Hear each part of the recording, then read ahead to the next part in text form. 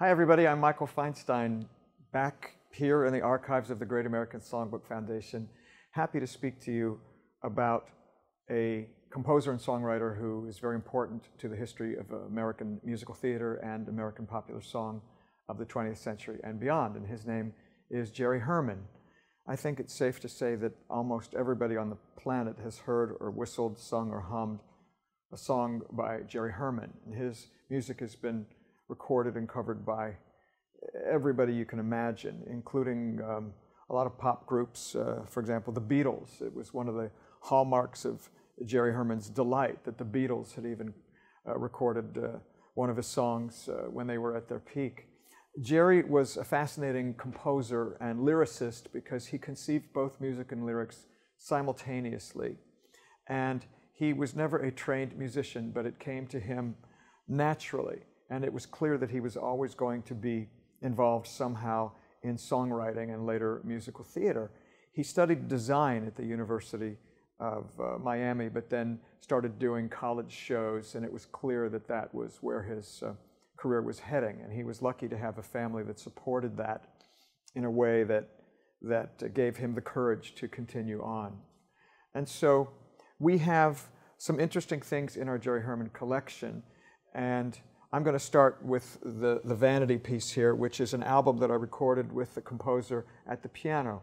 A number of years ago, I did a series of recordings memorializing the way songwriters played their own songs because having had the opportunity to hear them at parties and other events, I was always fascinated to hear how the original creation or original conception sounded versus what went out into the world.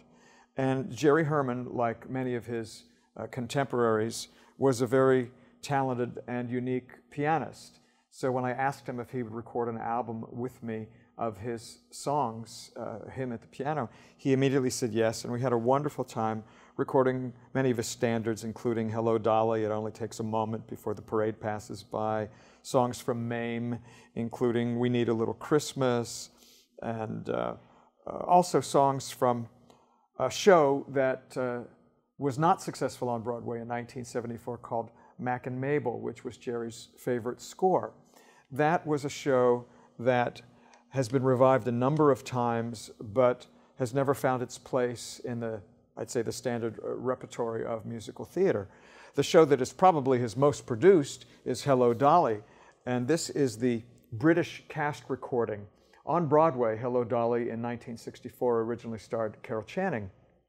And then when she left the show, she was replaced by five or six other Dollies during its Broadway run including a version with Pearl Bailey featuring an all black cast and a new cast recording featuring Pearl and Cab Calloway. But this is the British cast recording featuring Mary Martin. And Mary Martin also went to Japan and performed Hello Dolly over there, even though I don't know if there is a Japanese cast recording of Hello Dolly, but I would bet that there is because many of these uh, musical theater uh, shows that are American standards are also standards all over the world. This is another uh, CD that uh, is called An Evening with Jerry Herman, recorded live at the Rainbow and Stars Club in Rockefeller Center, probably uh, in the 90s or was it the 80s? I, uh, 1989. And uh, again features Jerry at the piano with two of his favorite singers, Leroy Reams and Karen Morrow. This material here this is working material from the original production from 1974 of Mack and Mabel, which also featured Jerry's favorite song, I Won't Send Roses, which I've recorded with Jerry at the piano and also orchestrally, and it is one of my most requested numbers. And it's so interesting to look at production parts from a show in its, in its original form, because you'll always find things crossed out where they've made changes in the action or in the script, or they've cut a song and this has a paste over of what would have been the first eight bars of this particular number, which is not even identified. Oh, it says hit head. It was a number called Hit Him on the Head, which was sung by one of the stars of the musical, Robert Preston. The reference to Don was to Don Pippin, who was the conductor of the show. This part says sax time. I have no idea what that is, and there are a number of things in here that appear to me to be songs that were cut from the show, and I'll have to go through them and see. Uh, and this says skip that says skip. And I don't know if it means skip the number or if it's referring to one of the musicians involved with the show, Skip Redwine. those are the sort of questions that come up when we look at something like this. This is the curtain raiser, which was probably the, the top of the second act.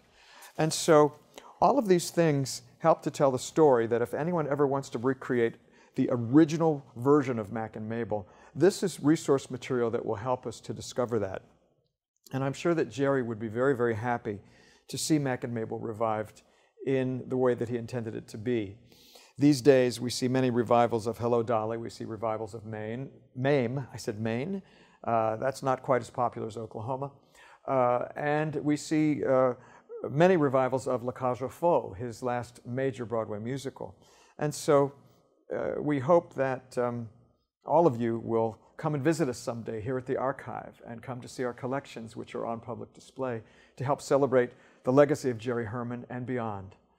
Please join us again here in the archives.